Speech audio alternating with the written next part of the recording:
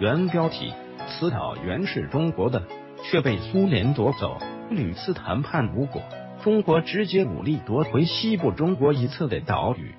西里沁岛上游，珍宝岛是属黑龙江省鸡西市虎林市珍宝岛乡，在饶河县城南偏西四十公里处。因为它的形状长得就像元宝一样，而将它取名为珍宝岛。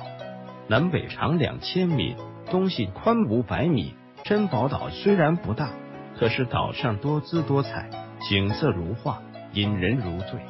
在清朝时期，中国和沙俄签的《中俄北京条约》，把外三省割让给俄国，乌苏里江称成为界河。在整个二十世纪。关于珍宝岛的归属一直都没有定论，因为珍宝岛位于界河之上，中国和俄国、苏联都说各自拥有该岛主权。公说公有理，婆说婆有理。后来中国国内先后历经多次内战和抗日战争，没有时间管珍宝岛，然后就被苏联占领了。在二十世纪二三十年代时，发生了中东路事后。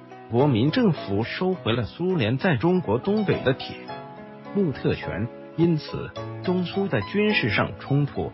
在第二次世界大战末七八月风暴行动之后，一九四七年开始，苏联红军在九珍宝岛巡逻，并宣示此岛属苏联，不准中国军队前往此岛。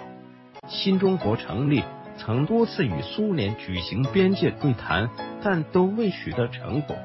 展开全文。从中苏决裂之后，从一九六七年到一九六九年初，双方在该岛上的巡逻队流血冲突不断。